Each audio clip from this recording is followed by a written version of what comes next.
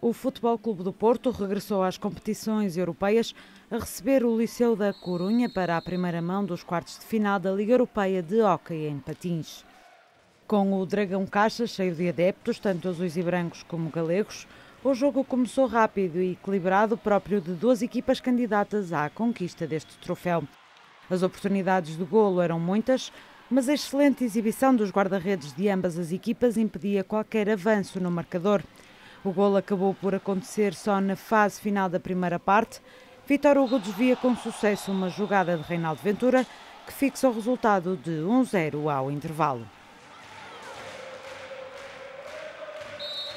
Na segunda parte manteve-se o equilíbrio que caracterizou o primeiro tempo, com as equipas a procurarem sempre a finalização, mas os golos eram mesmo o elemento que faltava no jogo pautado por uma grande qualidade ofensiva. Nos últimos 10 minutos, a equipa galega conseguiu chegar ao empate, uma desatenção defensiva do Futebol Clube do Porto que permitiu o golo a Tony Pérez. Com vontade de vencer, os Dragões adotaram uma atitude mais ofensiva, o que acabou por facilitar a concretização do segundo golo para a formação espanhola. José Pelamas faz o 2-1, resultado final no Dragão Caixa. O Futebol Clube do Porto procura agora a vitória na segunda mão, a realizar-se na Corunha, no dia 12 de abril.